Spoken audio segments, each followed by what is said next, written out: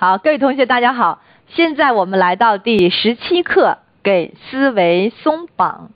那我们在模块三第十七，跨越使命道路上的三重障碍。我们上一节课讲了第一重现实冲突的障碍，今天我们来讲思维捆绑的障碍。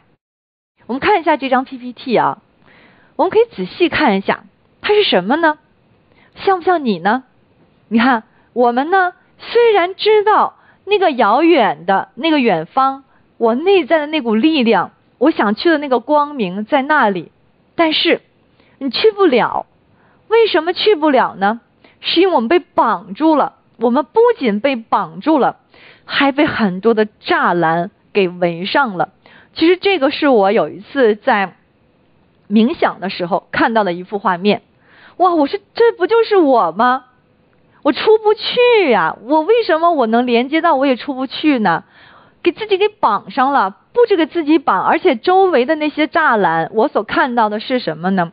那更像是几千年来人类传统的封建的意识观念，把我们紧紧的给隔开了。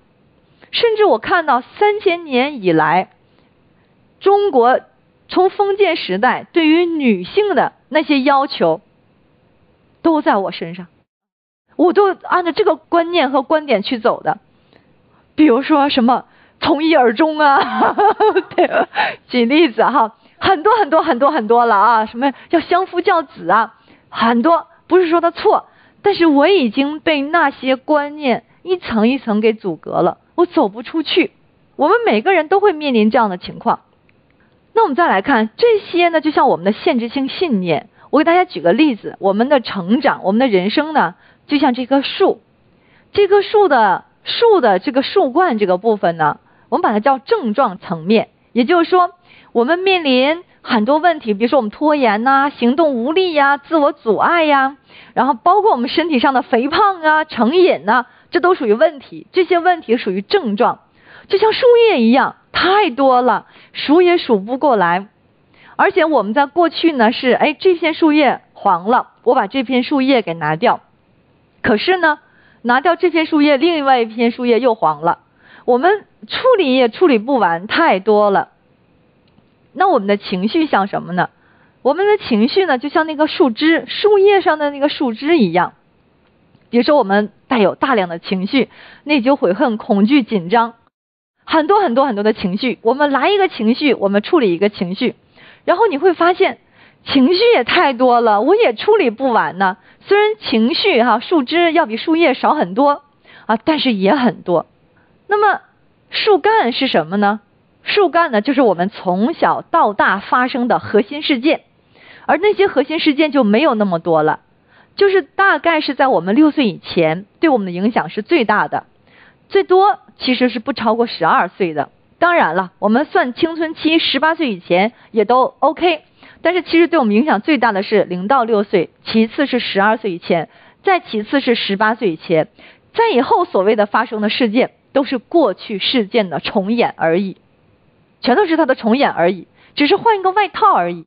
或者说我们十二岁到十六岁的事件，都也只是换一个外套而已啊，就是这么多核心事件，它就会越来越少。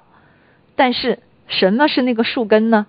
树根。就是我们内在被植入的那些观点、那些限制性信念，它就成为了我们的一生。我们就按照我们的信念去活。我相信什么，我就活成什么样子，是不是？每个人都是这样，每个人就是能活出他所相信的那个样子。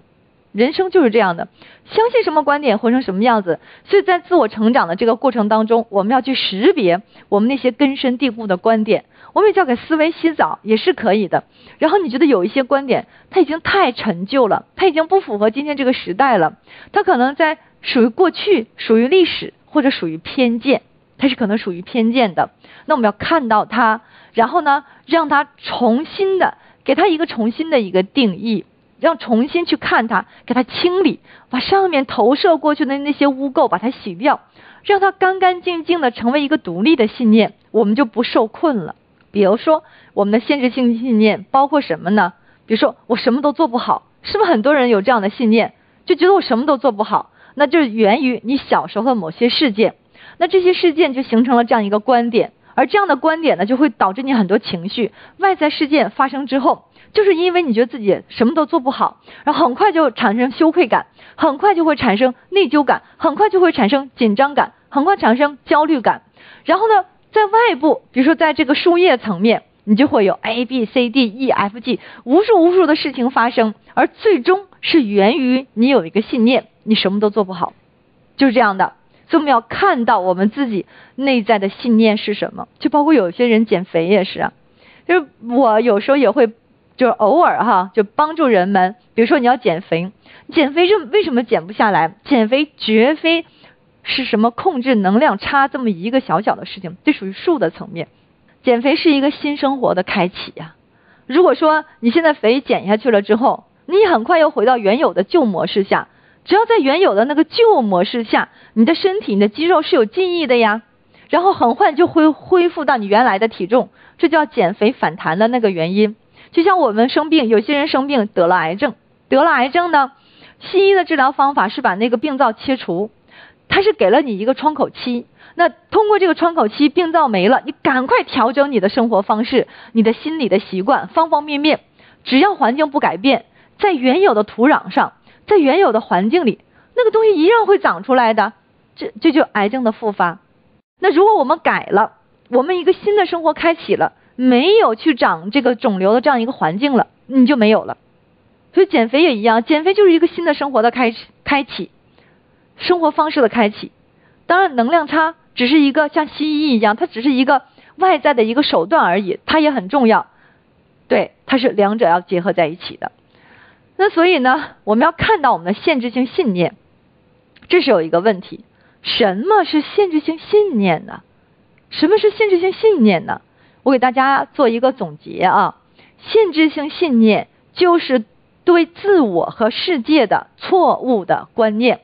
我们根据一系列过往的事件。或者经历总结出来的不正确的结论，限制性信念是我们的根基，人的根基。有时我们很难识别这些信念，比如说我们错误的，往往错误的把我们这些信念当成了事实了。我们很多人就把自己的那个信念当成世界就是这个样子了。比如说有些人我还在讲，有些人认为我自己根本瘦不下来，因为我父母没有瘦过，我祖母没有瘦过，我也从来没有瘦过。然后你认为这是一个事实，我就是永远是个胖子，对吧？是吧？你就把这些个信念当成事实了，而实际上不是，对不对？所以任何观念只要向可能性关闭了大门，就成了限制性信念。我再重复一遍啊，任何观念只要向可能性关闭了大门，就是限制性信念。它让我们没有更多可能性，让我们成为信念的奴隶、囚徒，没有其他可能性了。所以我们看不到更大的世界，我们也没有创新，我们也没有创造，什么都没有。这就是限制性信念所导致的，也就是我们只看到世界的一面，而忽略了另外一面。这也是我们常常所说的二元对立。其实啊，我们一直在讲教育哈，教育的目的是让学生。其实要摆脱现实的奴役，而非适应现实。但是我们今天呢，却恰恰走反了。教育的本质其实是一种唤醒。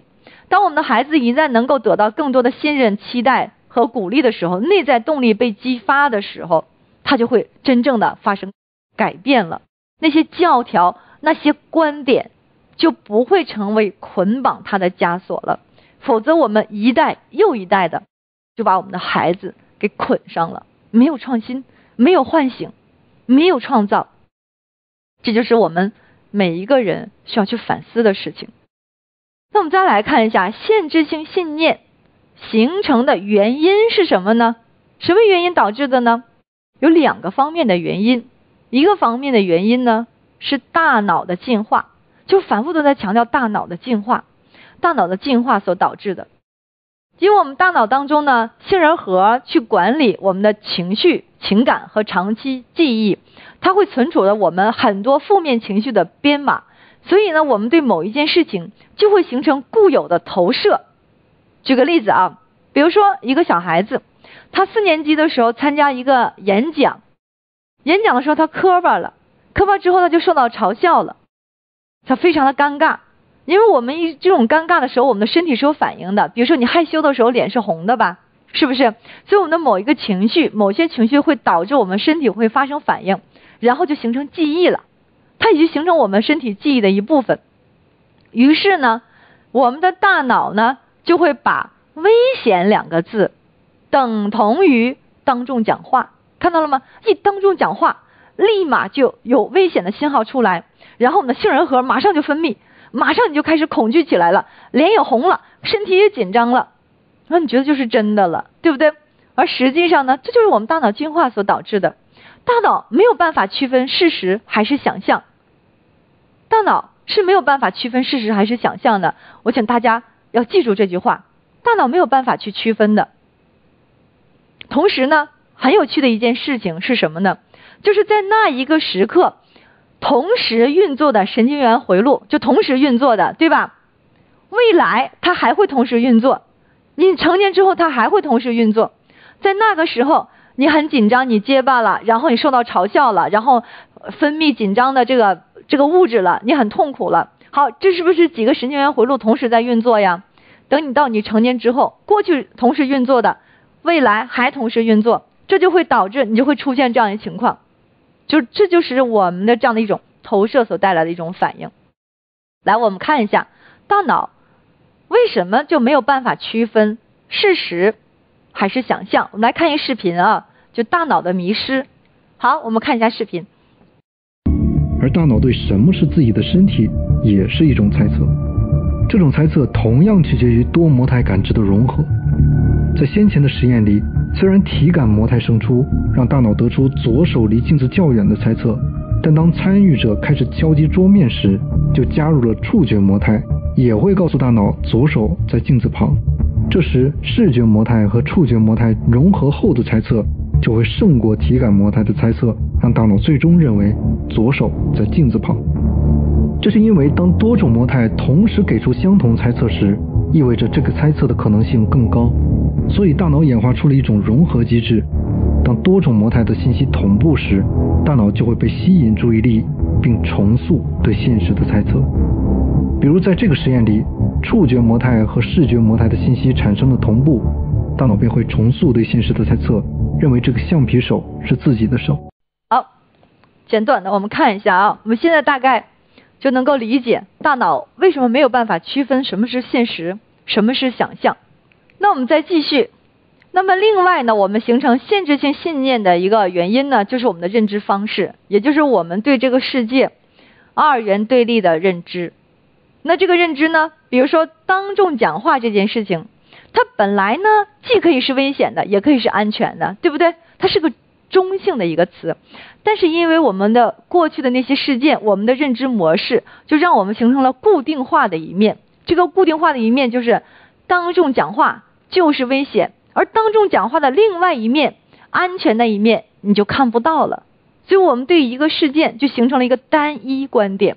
我们一旦形成单一观点，没有更多可能性的时候，那就是二元对立。那什么是二元对立呢？要跟大家讲一讲。我们普通意义上的二元对立就是好和坏，善良与无情，就是理性与无理，正直与邪恶。这是我们普遍意义上的认为的二元对立。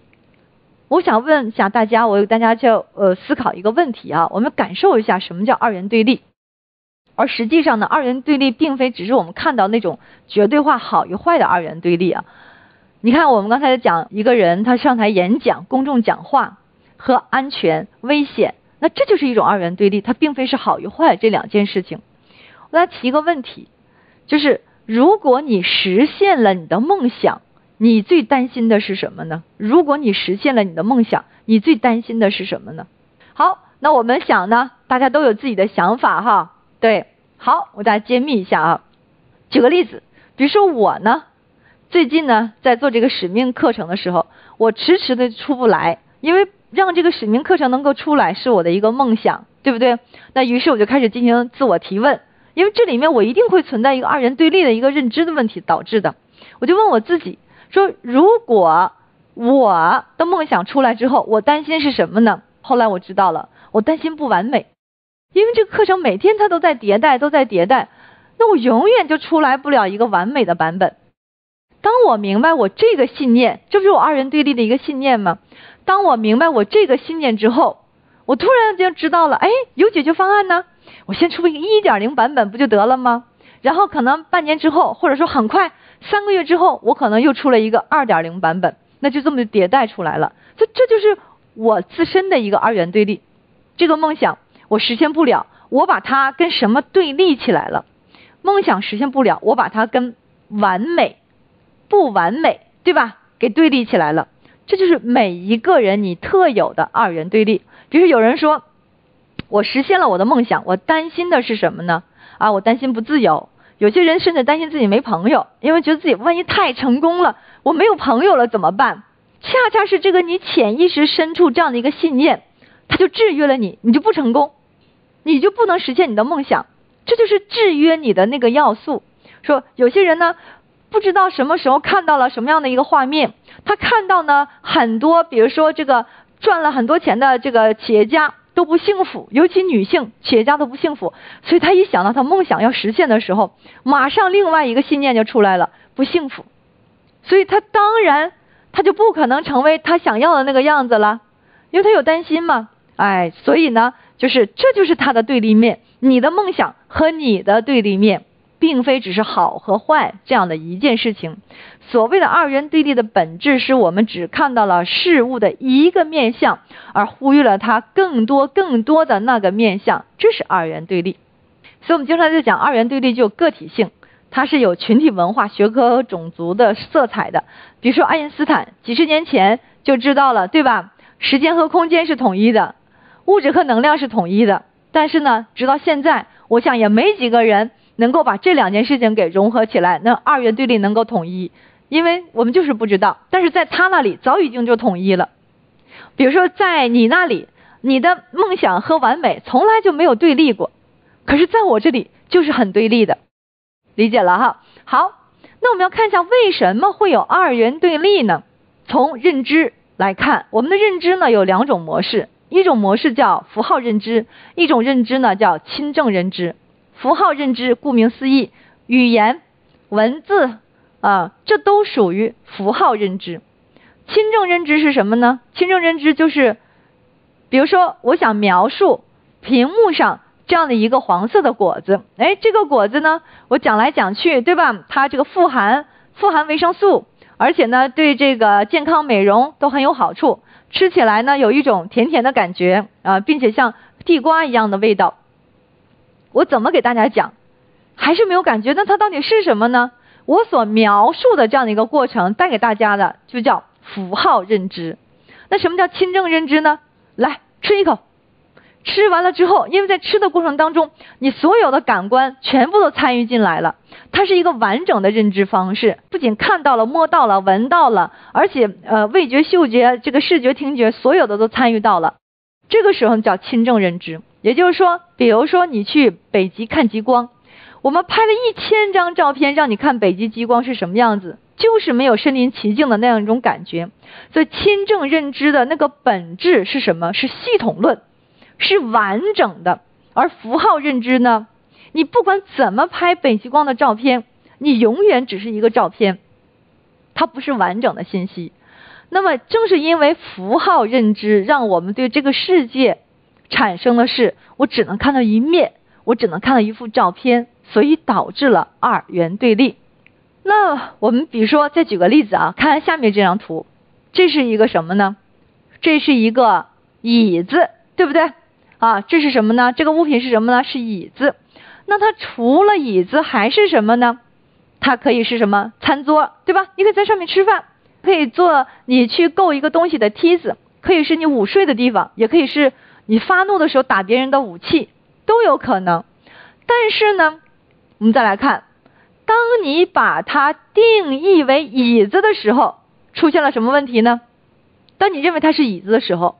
这个物品的其他可能性全部消失了，这就是我们的认知导致的二元对立，这是二元对立的那个本质所在。只能看到这一个东西的一个面相，忽略了更多可能性，这就是限制性信念。我们已经谈到了一个信念对可能性关闭着大门，这就叫限制性信念。所以呢，当我们在评论这个物品的时候，我们既要看到它的形式，又要看到它的功能，既要看到它的物质性，又要看它的精神性，是不是？这样就相对完整了。所以呢，现在给大家这幅图，在这个房间里面，把椅子两个字贴在房间里。你一看到椅子这两个字的时候，你一看这里没有椅子啊，找了半天，对不对？因为你原有投射的椅子就应该是那个样子的哈，黑色的呀，或者是木头的或塑料的，那是你对椅子的投射。我们一想到椅子，马上连接到了就是你原来熟悉的那样的一种情况。而实际上，你再想一想，哎，椅子，椅子除了我看得见的这种样子，我还要考虑椅子的精神性，就它的功能性。那这时候你就知道了啊，实际上一切都可以是椅子，地面是椅子，沙发是椅子，梳妆台是椅子，茶几是椅子，一切都可以是椅子，一切墙面都可以是椅子，看你怎么做。所以呢，我们看到椅子就可以是一切了，一切也可以是椅子了，是不是？我们把椅子给替换一下，我们谈到的常常谈到的，我可以是一切，一切也可以是我，那确实就是啊。所以我们就理解了超体里最后一句话，就是我无处不在。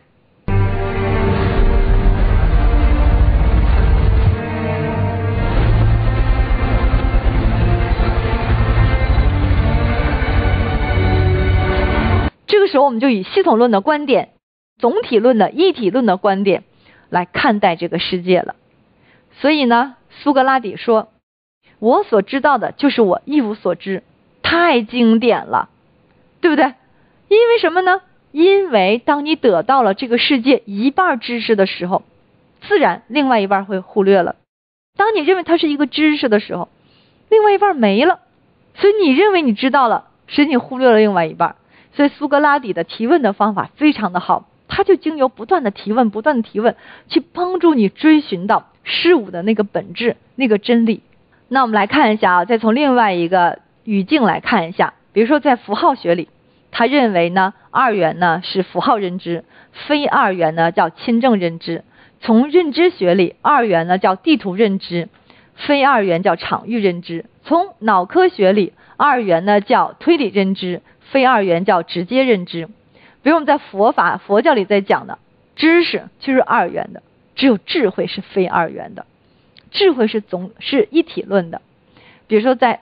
道教里面，他把二元叫下智，把非二元叫上智。那我们经常在讲《道德经》里在讲，为学日增，为道日减或日损，对不对？就是这样子的。那 这就是有难度了。能够验证一流智力的方法，就是看是否在脑海里能够有两种对立的观点同时存在，并且你还能够游刃有余，真难呐，真难。所以认知越低的人。他越需要绝对化的东西，你就告诉我那个绝对化，就告诉我就怎么做，怎么定。我不想选择，告诉那个一是什么，我要怎么做，你就告诉我就行了。这就是低认知的人需要的。凡是能够高一点认知的人，不会找那个唯一的。那世界怎么会有唯一呢？这世界本来就是万物负阴而抱阳，从来就不是一个。单一的，对不对？难度很大。想一想，脑海里同时存在两个对立的观点，你还游刃有余。但是，这就给到了我们一个提升的路径。当我拥有 A 观点的时候，我看到了我长期拥有是 A 观点。这个时候，我马上，我能不能把这个观点的反面的观点给纳入到我的体系当中来呢？并且我也尝试去活一下。哎，我去试一试。如果能有这样的一个想法的话，哇，你的人生就打开了另外一扇窗。慢慢慢慢练习之后呢，你就会成为一个一流智力的人了。因为两种观点可以在你脑海里并存。那我们再来看一下，说有人说，那老师，那我难道要抛弃二元对立吗？既然二元对立不好，对不对？我要抛弃它吗？其实不是的。为什么呢？因为呀。就叫文字方兴，语出道断。只要有文字、有知识，它必然有二元对立。恰好是因为文字的兴起，带领人类走向了文明和进步。只是我们今天科技的进步已经太吓人了，吓人到似乎机器要统治世界了。所以我们就突然间忘了，我们还有另外一个，我们要从整体论。这个整体论包括我们所有的人类命运共同体，这也是一个整体论的这样的一个视角。我们忘记了整体论的视角，而非只是在二元的视角里。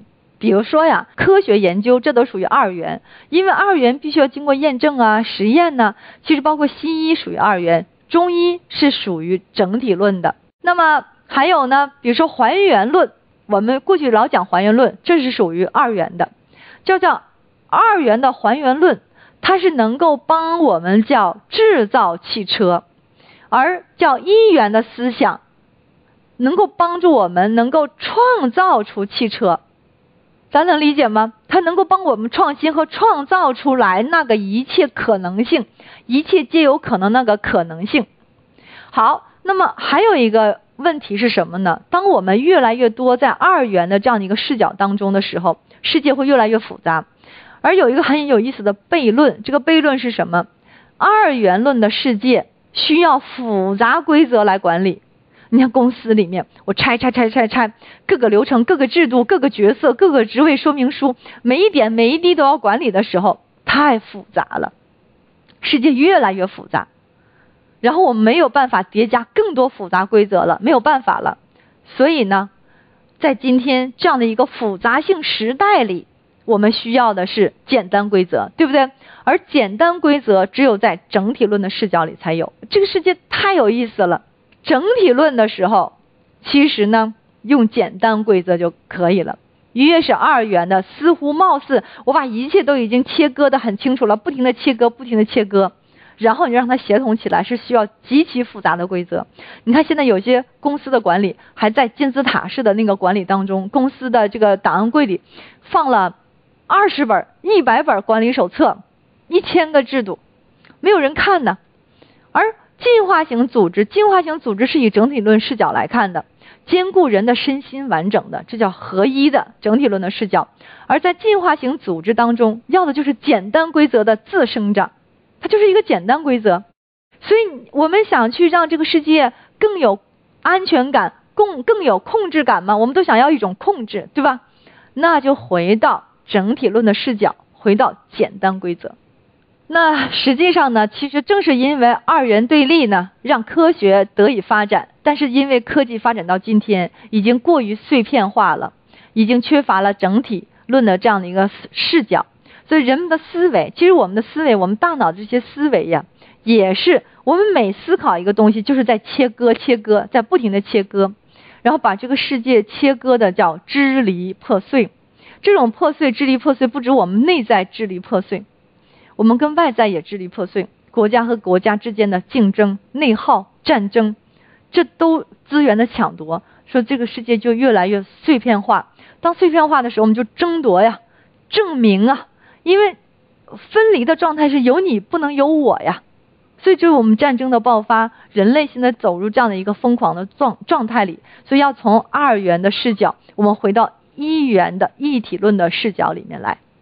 好，那人类文明的起源呢，也恰恰是从文字和符号开始，在这种一分为二的不完整状态下，不管我们看到什么，而都只是一部分而已。所以呢，现在呢，大家就应该能够领悟到王阳明这句话：没有任何分别的时候，叫无善无恶心之体，就是我们内心，我们的内心，我们一直在讲的那个源头，我们的那个内心，它就是无善无恶的。有善有恶一之动，只要我们去认知这个世界，只要我们去思维、去认知这个世界，善恶就出来了，好坏就出来了。好，那么在心理学上呢，其实对这个事情呢，还有一个另外一个说法叫功能固着，这是由心理学家呢邓克尔提出的。它的定义是，当人们无法用新的方式使用物品去解决问题时，产生的一种心理障碍。是人们的一种认知偏差，什么意思呢？是说人们没有办法意识到一个事物啊，除了原有的我们熟悉的这样的一种功能，这个既定的用途之外，还有其他功能和用途。一个问题除了它既有的解决方法，还有新的解决方法。一个概念除了它既有的这个定义之外，还有其他的含义，甚至我们就把脑海里的一个观点、一个角色、一个标签、一个评价，都等同了自己，以为自己就是那一个固定的东西。就心理学上这叫一种严重了，就叫一种病。严重的时候，而且当人们在过度的这样功能固着里是没有创新的。真正的创新就是打破这些功能的固着。所以我们经常在讲创新和创造的那个本质是打破二元对立，看到更多的可能性，那才是那个创新的真正的来源。好，那成长呢，就是给自己松绑的一个过程，就像这幅图一样，我眼睛被蒙上了。我们身体被遮住了，对，那么我们需要给自己松绑，这就是成长的一个过程，既可以是危险的，又可以是安全的。